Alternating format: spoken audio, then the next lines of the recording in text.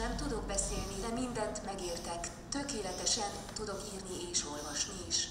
Így mutatkozott be Bratkóné Földesi Ágota az alapítvány által szervezett nyári táborban, az ifjúsági otthonban, ahol a gyermekek most a segítőkutyák munkájába nyerhettek betekintést. Bambi, a törpeuszkár már megkapta az alapítvány Assistance Dogs International igazolványát.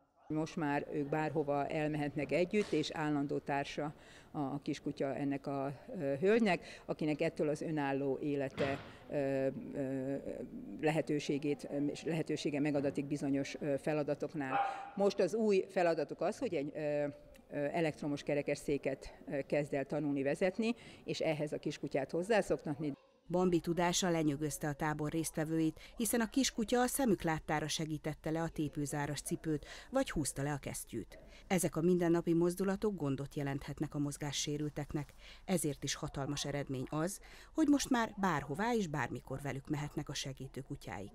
A Kutyával egy mosolyért alapítvány akkreditációjáról és a nyári táborukról a híradónkat követő kiemelő magazinunkban tudhatnak meg többet.